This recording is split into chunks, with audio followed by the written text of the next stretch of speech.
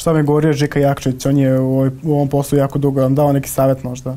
Pa Žika je ovako impresioniran nekim svojim mojim aktivnostima, evo baš smo pomenuli podvodni ribolov, njemu je to bilo interesantno koliko ja dugo mogu da zadržim dah. Pa su vas da, ovaj, u emisiji govorili, a gnjurac, evo možeš, kaže, koliko možeš, 3-4 minuta, 40 metara i to njima ovako dosta fascinantno.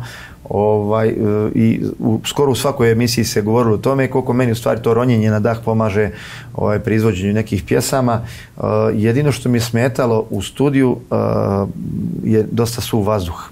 Mi smo dolje na Primorju, blizina mora, vlažnost vazduha je velika i meni jako prija za pjevanje i kad dođem u ove vaše krajeve, Malo je onda je malo drugačije i onda mi jako teško da pjevam. Ovaj, baš me nekako i zamara taj suv vazduh i moram stalno da pijem vode. Ovaj, tako da, mm, ali snalazim se, kažem, evo sad, skoro sam, pjevao sam na, na par mjesta tu u Beogradu, nekim nastupima mojih dragih kolega, pa kažu, ajde, zapi- zapjevaš koju i ovaj, nije mi smetalo, vjerovatno je, vjerovatno je, ovaj, imaju neku foru, pa je vazduh drugačiji, šalim se.